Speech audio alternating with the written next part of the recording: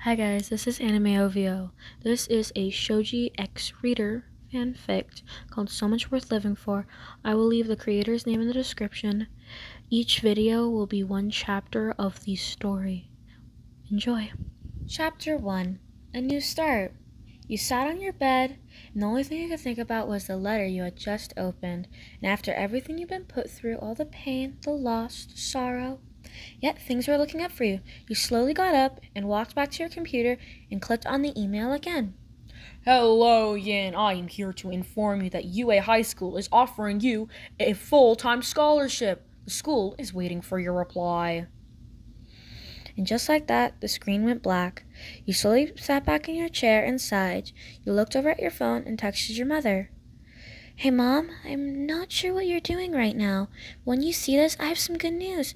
Text me back when you can. Your mother was out doing hero work. You were left home alone in the new house, but you were used to it. Both of your parents had always been heroes. You grew up with it like that. But ever since your dad has passed, your mom has been having some trouble taking care of you, but you didn't mind. You loved your mother, whether she was there or not. You also had moved due to your previous home being destroyed, but you had always moved a lot. That's why you always avoided making friends.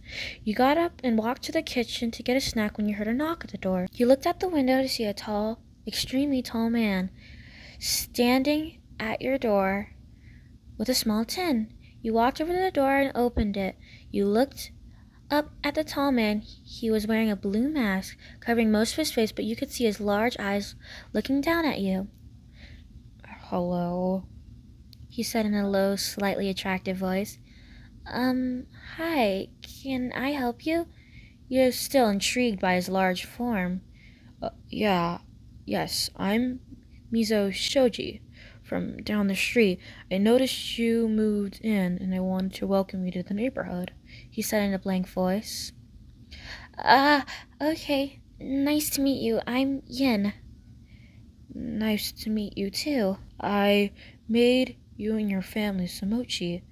Hope you find it to your liking. Your eyes widen as you look away as you begin to tear up. The word family made you think of your not family anymore. Because your family is broken. You're just people who live together and happen to still love each other. Uh, uh, I'm sorry. Did I say something wrong? Shoji said in a panicked voice. No, it's just, um, I'm not exactly, um, family anymore. His eyes widened as he set the tin of mochi on the ground. He bowed his head, beginning to apologize.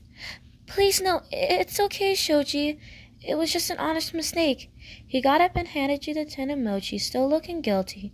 You reassured him that he did nothing wrong, and he left. You walked back inside and locked the door. You set the tin of mochi down on the counter and began to walk up to your bedroom. You sat down on your bed and wondered, hmm, he seems nice. I wonder if he goes to UA. As you walk over to your closet and get into your pajamas and look at the time, 12.03, you go to turn off the lights and climb into bed. UA, here I come, you say before you drift off into a deep sleep.